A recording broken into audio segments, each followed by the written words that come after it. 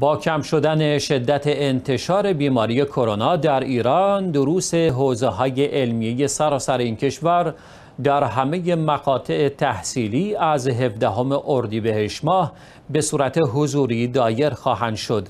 دروس حوزه های علمیه مانند سایر مراکز آموزشی کشور طبق شیوه نامه های ابلاغی ستاد مبارزه با کرونا در ایران به صورت غیر حضوری برگزار می شد که بعد از کاهش ویروس کرونا دروس حوزه نیز به صورت حضوری برگزار می شود. گفتنی مدارس ایران از چهاردهم فروردین امسال حضوری شده است.